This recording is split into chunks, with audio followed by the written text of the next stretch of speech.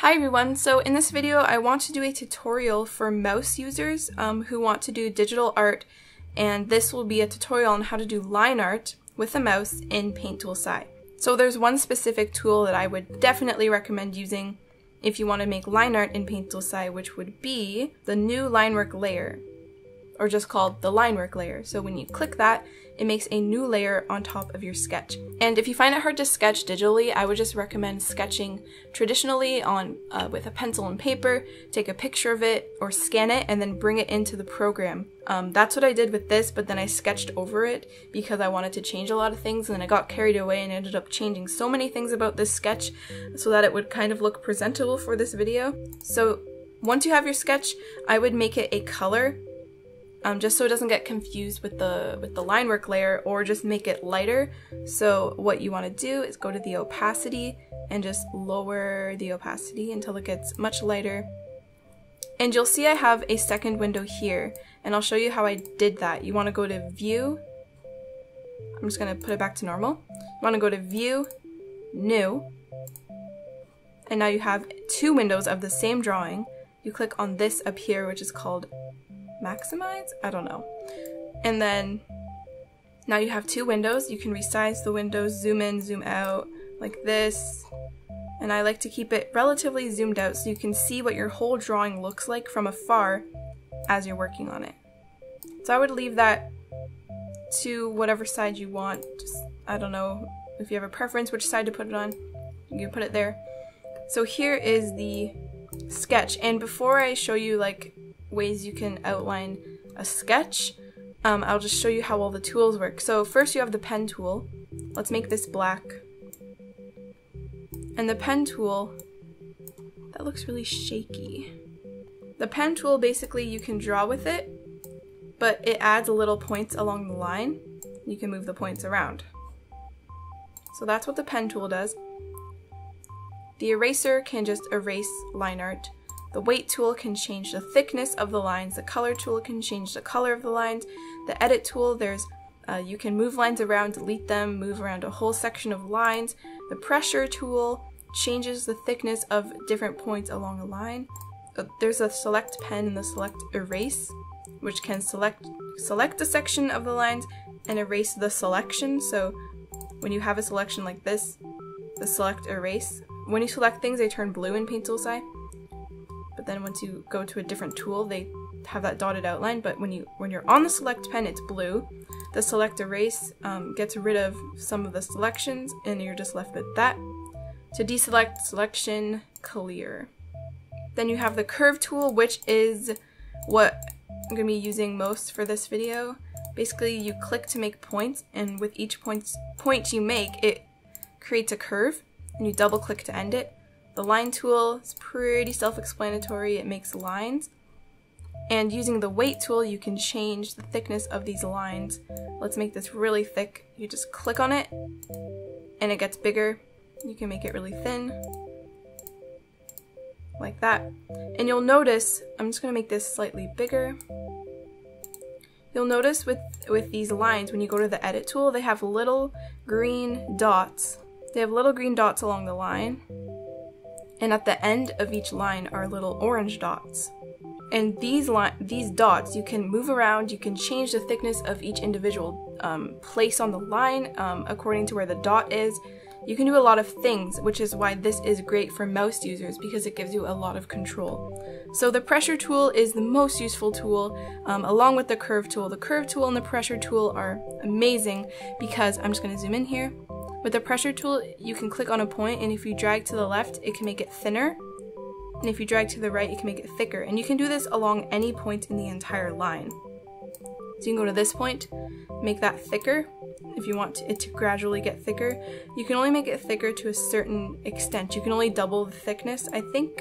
So if you want to be able to go bigger, um, you just increase the size of your line like this and then you have more control because you can always make it as small as possible but then there's a limit to how big you can make it. The pressure tool is great for adding line variation because as you all know with a mouse you cannot have pressure sensitivity. I'll show you the difference between, um, I'm using a mouse right now but my tablet is a Cintiq companion and I have the pen here. So I'm going to make a new layer and show you what the difference between a mouse line is and a pen line. So this is the pen line. You can, I'm just to lower the minimum size. You can make it as thick or thin as you want, like this. If I try to do this with the mouse, it's just all one black line. so that's why it's really difficult to make lines with a mouse rather than a tablet. I'm going to go back to my mouse and show you the last few tools um, for the line work layer.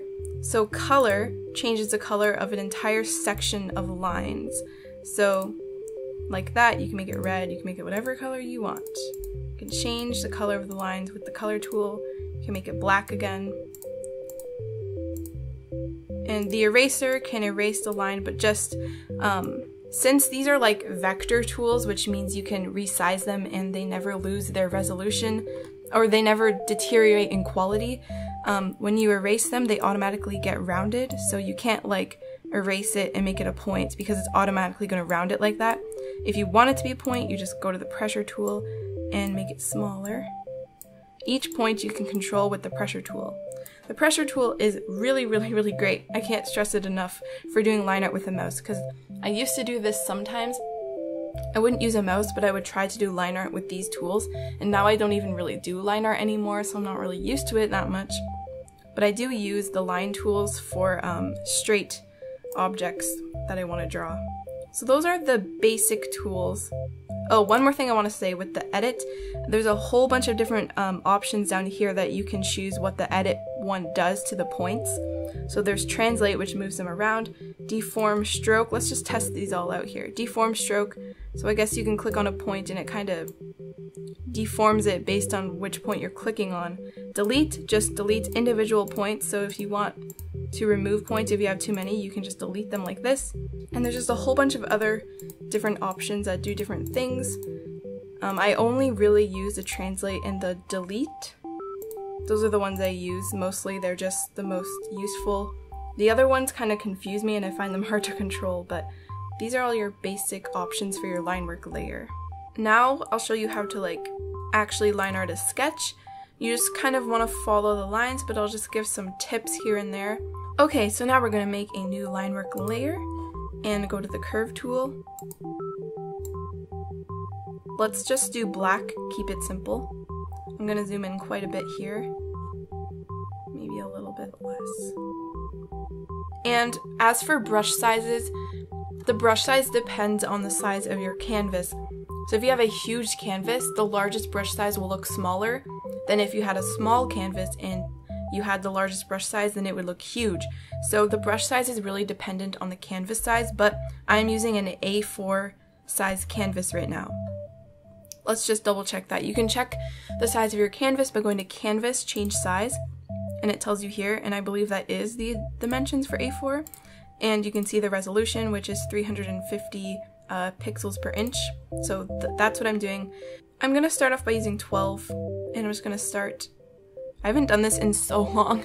I used to make my line art like this sometimes, and I hardly ever. Well, that's kind of thick. Let's make it less. Let's make it like six. Yeah, it's better. Click every time you want to like change directions, basically. You see it's not showing up in the new view yet, but it will once I'm done with this line. I'm not going to do the whole drawing, I'm just going to do a small part of it. So that's the edge of her face, and I already see a few things that I want to change, so you go to Edit, just going to make that smaller, and I like to, oh yeah, so keep it on Translate. And Translate will move your point around like this. Also, Translate can add points to the curve. You can just keep pressing undo if you did something wrong. Okay, so now I'm going to go to the pressure tool, and the pressure tool can change the thickness of lines. So if you drag to the left, it makes it smaller. If you drag to the right, it makes it bigger. So I'm going to make the ends of these points, I'm going to make this one bigger, and I'm going to make it get thinner as it comes to her forehead. It's going to get thicker at this part, thinner along her cheek. And as you can see, from this looks a lot better than it did before just by changing the pressure. you've added a lot of variation in the line work and it just looks better. So this does take more time than using a tablet. I'm just going to do a few more just to like give you more of an idea of how to do this. I'm going to do the hair now. I'm going to start here. I'm following this strand of hair.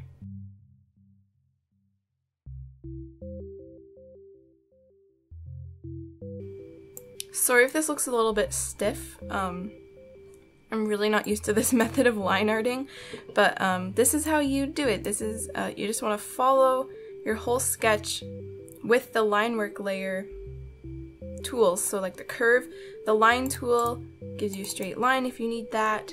And the edit tool um, allows you to move all the points around. The pressure tool changes the thickness. The weight can change the thickness of the whole line. You can color the line. Let's say we want this to be a sepia kind of color. I would just go to a dark red and just click on all the lines and now they are sepia. So I hope you enjoyed this tutorial of how to do line art with a mouse. Um, it's just something I think is really important for people to know about this program, especially the pressure tool. Um, if, if the only thing you can afford is a mouse to do art with, um, this is a really, really good option. Um, any kind of um, line work tools that you can edit and move around, it just gives you more control. I hope you enjoyed this. I hope you found it informative, and thanks for watching.